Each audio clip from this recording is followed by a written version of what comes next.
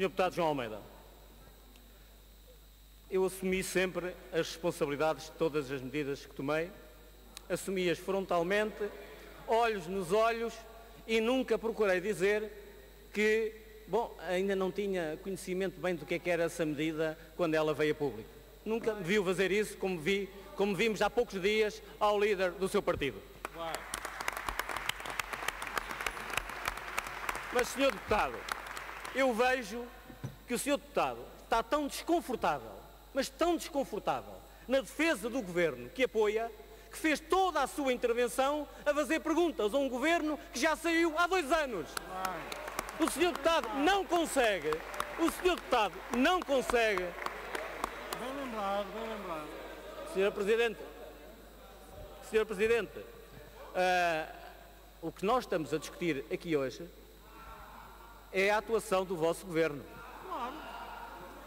É assim que funciona, é assim que funciona a democracia. É assim que funciona a democracia.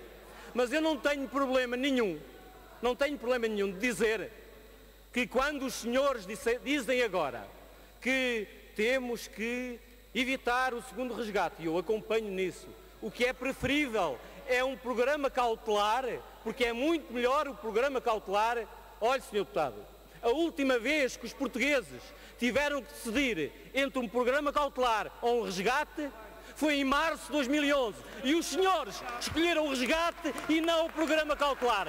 Essa é a verdade, Sr. Deputado.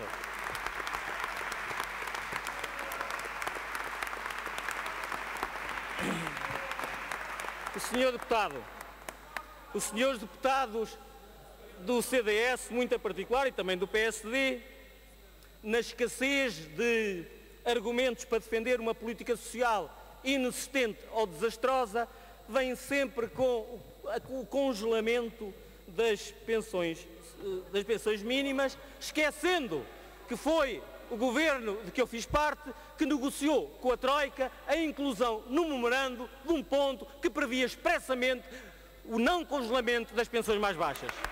Isto é a verdade, está escrita. Mas também lhe devo dizer que perde toda a credibilidade para falar em congelamento de pensões mínimas quem não as congela à custa do corte do complemento solidário para idosos, que é a prestação destinada aos mais pobres dos idosos. Se quer falar de responsabilidades, assumam os senhores deputados da maioria essa responsabilidade de terem cortado a prestação mais eficaz no combate à pobreza dos idosos, a prestação que trouxe a pobreza dos idosos de 26% para menos de 20%, 20 em poucos anos. E essa prestação é esquecida pelos senhores, é destruída pelos senhores e os resultados são visíveis a cada execução orçamental. Cada vez menos recursos para a prestação que mais eficazmente diminui a pobreza dos idosos. Essa é a verdade. E com essa verdade os senhores não têm moral nenhuma para Pode falar concluir, em congelamento de pensões.